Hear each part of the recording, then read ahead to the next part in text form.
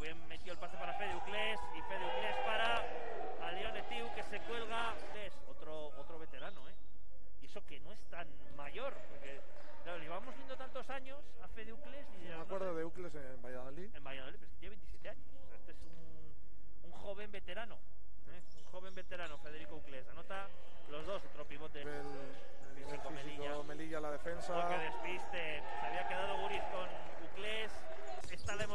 Antes. Musbarro se queda corto el rebote para Federico Ucles.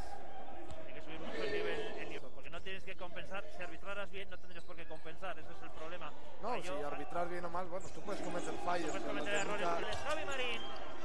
Recibe Federico defensa, Fede buena Ucles, defensa de Rips. para Papa No. Abdullah en Valle. Anota Papa Abdullah en Valle. 53 segundos.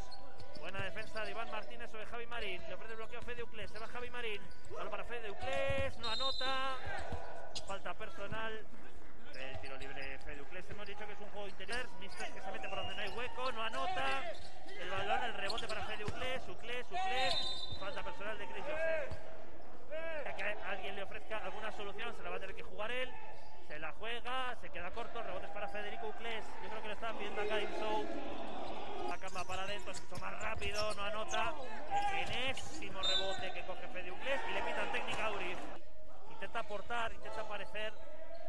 Tira Chris Joseph una mandarina que no anota, el rebote se lo queda Fede Ucles. Yo creo que intenta buscar la falta de camba. Sí, ha intentado buscar la falta, pero no. No, no, la- Cuatro jugadores en pista anotadores que. Winter y qué bien lo ha hecho ahora.